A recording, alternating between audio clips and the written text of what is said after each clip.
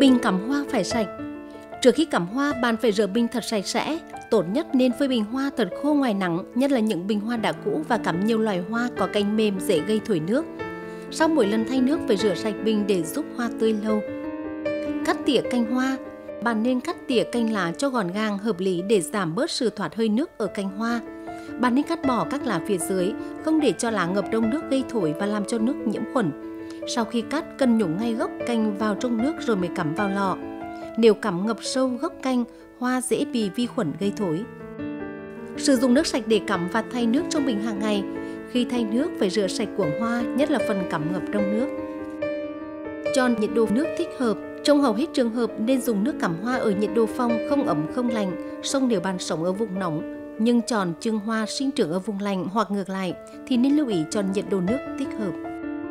Vị trí đặt bình hoa không nên đặt bình hoa ở chỗ có ánh nắng trực tiếp chiếu vào vì hơi nóng sẽ làm cành hoa bị mất nước nhanh, trong khi chúng hút nước không kịp để bổ sung sẽ làm hoa héo, nhanh tàn.